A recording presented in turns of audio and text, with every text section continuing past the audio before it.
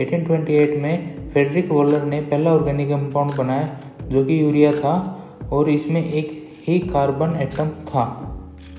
तो दो carbon atoms को जोड़कर कार्बन कार्बन बॉन्ड बनाने की उपलब्धि 1845 में जर्मन केमिस्ट हर्मन कोल्बे द्वारा हासिल की गई थी, जिनके एसिटिक एसिड की सिंथेसिस कई प्रस्पेक्टिव से उल्लेखनीय है। एसिटिक एसिड, वाइनेगर, वाइन्स और अन्य दूसरी स्प्रिट के ऑक्सीडेशन के एक प्रोडक्ट के रूप में जाना जाता है। Kolbe iron disulphide and chlorine की हेल्प से और पानी को ऑक्सीजन सोर्स के रूप में यूज़ करके एलिमेंटल कार्बन और हाइड्रोजन से लैब में एसिटिक एसिड की सिंथेसिस करने में समर्थ रहे। यह सिंथेसिस न केवल अपने समय के लिए एक प्रभावशाली अचीवमेंट थी, बल्कि असाधारण भी थी, क्योंकि इसमें नेचर के सबसे सिंपलेस्ट बिल्डिंग ब्लॉक से एक ऑर्गेनिक मोलिकुल के बनने का पता चला था।